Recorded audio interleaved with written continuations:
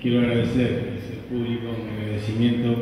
al ministro Siliane que no puede estar presente, pero está Tomás hoy aquí, quiero agradecer.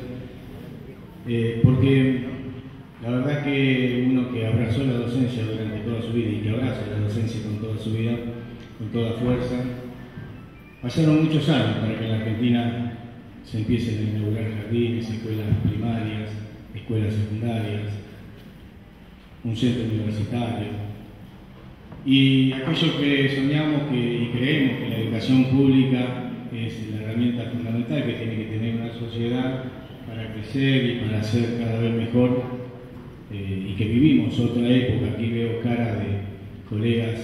amigos y amigas que, que hemos transitado por este camino de la educación, y sabemos que hubo épocas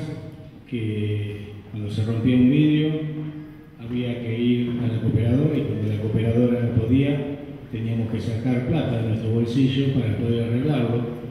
o cuando nos faltaba material deportivo en la escuela, los muchos profes que están aquí, entre los chicos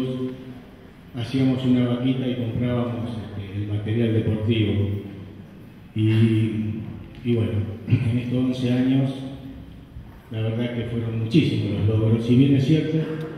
que faltan muchas cuestiones todavía por delante, muchos desafíos por delante, que hay que mejorar muchas cosas, el salario de los docentes, que hay que mejorar la infraestructura, que hay que mejorar y dotar de más material a las escuelas, pero los pasos que se vienen dando fueron fundamentales. Primero se elevó el presupuesto, de un porcentaje que teníamos se elevó casi al doble y después empezaron a construir un montón de escuelas a lo, largo y a lo ancho del país. Escuelas que tienen que ver con jardines, con escuelas primarias, con escuelas secundarias, con centros universitarios, con carreras universitarias en distintos lugares, como en el caso nuestro en nuestra ciudad, y que, y que bueno, eso nos llena de orgullo. Así que nuestro agradecimiento por todas estas políticas que vienen llevando adelante, agradecer a las autoridades educativas que están aquí acompañándonos, a Aníbal, a todo el equipo mío que está aquí. Hoy vamos a hacer entrega, no solamente que inauguramos formalmente un jardín y que tenemos en construcción dos jardines más y uno en tercero ahí que ya lo tenemos también para, empezar a, trabajar. Vamos a hacer entrega de resoluciones. Esta es la tercera entrega que hacemos, ya se han entregado en diciembre y entregamos en enero a más de 30 escuelas, hoy tenemos 11. Entregamos también, gracias al gobierno nacional, aulas digitales, que son realmente maravillosas, laboratorios, y también entregamos resoluciones